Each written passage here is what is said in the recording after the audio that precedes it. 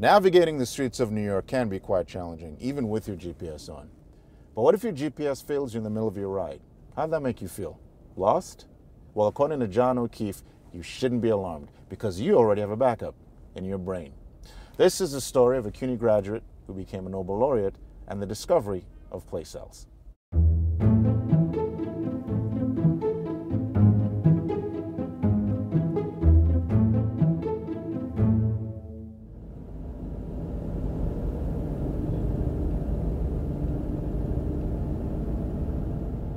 Are the overlords who determine the destiny of mankind.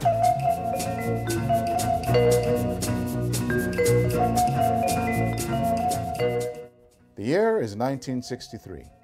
John O'Keefe is summoned to the dean's office at the City College of New York. In order to get there, he'll have to face his fears and navigate the streets of Manhattan in his freshly painted yellow taxicab. O'Keefe a South Bronx native, never planned on becoming a taxi driver. In fact, after his father's dreams of being an aircraft mechanic were dashed by a shipyard accident in World War II, John picked them up for himself, studying aeronautical engineering at NYU and taking a job at the Grumman Aircraft Corporation. But the grueling schedule involving over 100 miles commuting a day in rush hour traffic proved too difficult, and O'Keefe decided to settle for the freedom of a full time college student. Luckily, this freedom came at no cost. The tuition free City College of New York offered a wide range of courses and allowed this young man to pursue his interests without compromise. He took classes in filmmaking, advanced English literature, physics, and a wide range of psychology and philosophy courses, paying no attention to faculty or discipline boundaries. It was here that he also got his first taste of experimental brain research. At the time, there were no neuroscience courses offered, but he took courses in physiological psychology and was allowed to join a team working on pigeon exploratory behavior. After reaching the dean's office, O'Keefe was surprised to find out that he had accumulated enough credits to receive not one, but several degrees.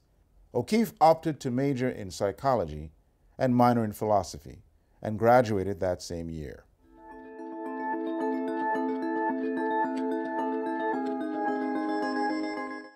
John's interest in neuroscience led him to focus his postdoctoral research on a very specific part of the brain, the hippocampus. Surprisingly similar across mammals, the hippocampus has traditionally been known as a formation in the brain that contained answers to questions of learning and memory. But in the 1940s, this tiny part of the brain was also marked as the possible location of the so called cognitive map a stimuli based concept of spatial awareness, developed by psychologists Edward Tolman and John O'Keefe, was excited to dig deep into it. In 1971, O'Keefe developed a series of experiments designed to monitor brain activity in rats.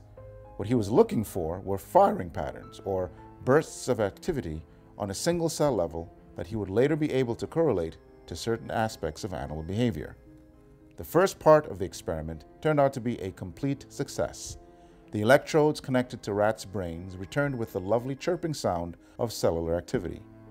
Unfortunately, correlating this activity to any of the common patterns in animals' behavior proved to be extremely difficult.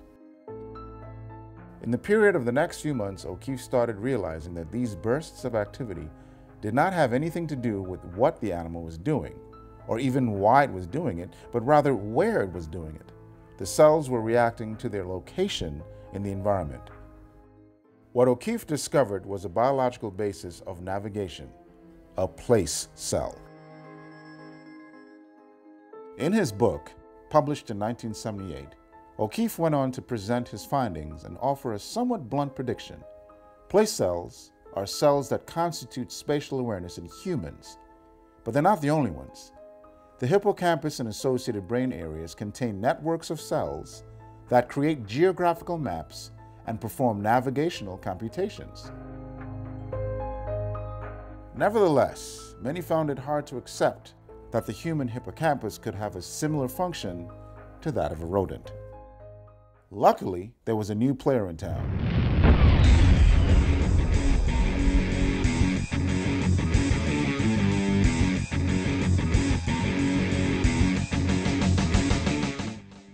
Duke Nukem. By the early 90s, advancements in technology allowed alternative ways of experimenting, this time on humans. Emptied of monsters, guns, and an equal number of rats, Duke Nukem became a complex environment with multiple rooms and pathways. A virtual space volunteers could learn how to navigate while their brains were being scanned for the clues of the cognitive map. The study proved that the human hippocampus and surrounding areas of the brain become active whenever a person is engaged in spatial navigation.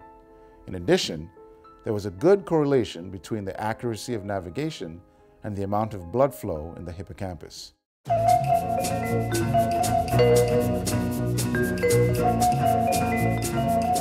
A decade later, an experimental study conducted with taxi drivers showed that the hippocampi of expert and highly practiced human navigators were larger in volume than the ones found in average humans. Little did young O'Keefe know, as he drove a taxi during his days at City College, that he was playing out an experiment which would go on to support his own theories 50 years later. In 2014, John O'Keefe, a former CUNY student with wide ranging interests and a passion for neuroscience, received a Nobel Prize in Medicine for his discovery of cells that constitute a positioning system in the brain. So the next time your GPS fails you, try to remember that our brains come with a fully functional one at no additional cost.